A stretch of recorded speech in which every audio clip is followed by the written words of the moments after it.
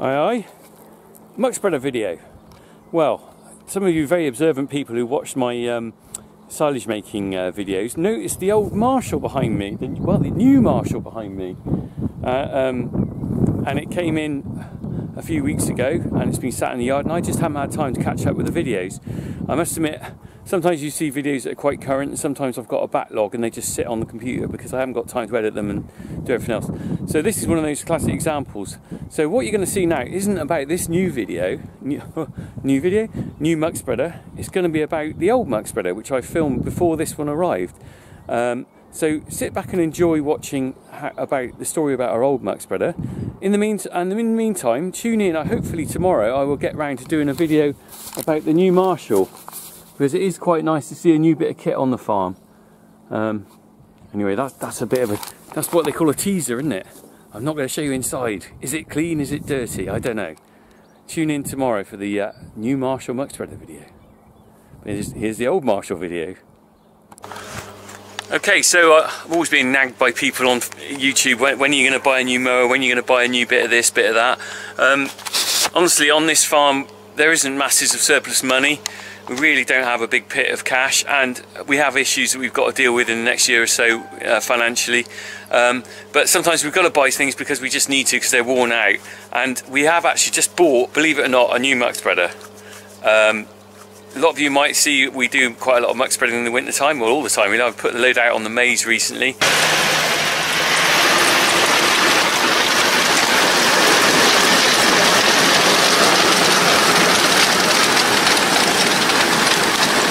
Um, the, the, the, muck spreader behind us, believe it or not, is 16 years old um, and it's just really coming to the end of its kind of useful life. Well, it's not at the end of its useful life. It's still got a viability for someone who's not doing much muck spreading and just needs a cheap uh, thing to just put a bit on every now and then. But for us, we need something that is really robust and good. And this one is probably coming to the end of the period with us. Well, it is. Someone else is having it. But um, I thought we'd just take a look. So this is a Marshall muck spreader. I think it's an MS70. There we go. You can just see the end on there, five cubic yards. Now it's, it's had a hell of a life with us really.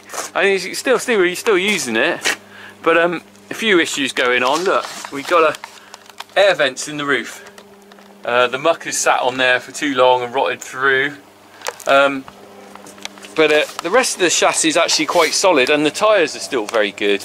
Um, but it's taken a lot of use. I replaced the wheel, uh, not the wheel bearing, I replaced this bearing only a couple of months ago actually.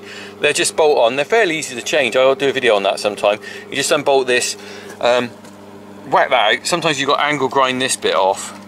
Um, and it's got some screws. Let me just see, there's a, a little plug there you've got to do undo an Allen key and there's another one under there and that'll cut that side off. But sometimes the bearings, if you forget to grease them, the bearing will go.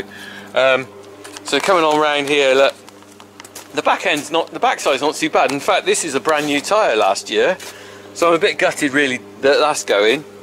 Being tight house farmer you think oh someone's gonna get used out of that.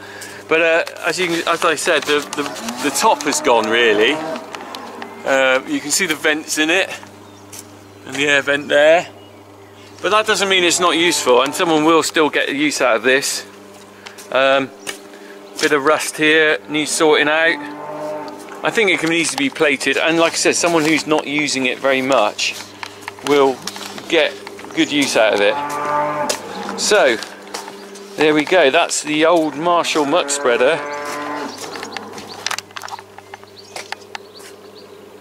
um, and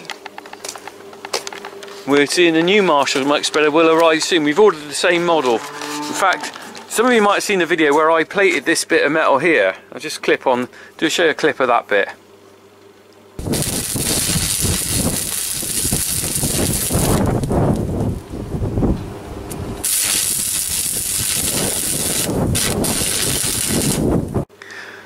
So that was when it was getting a bit thin on the edge. Um, put a new piece of steel there off a gate.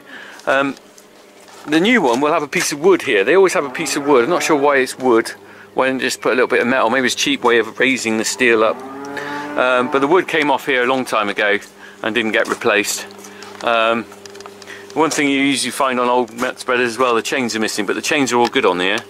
Uh, and the bearings are good in there because I have replaced them all.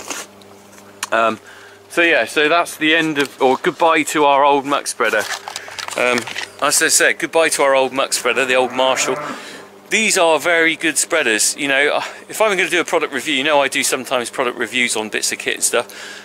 I have no qualms in recommending a Marshall muck spreader.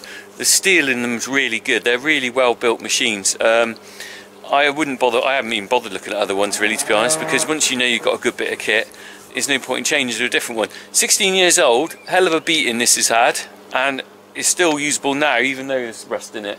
So um, there you go. Let's see the new one when it arrives.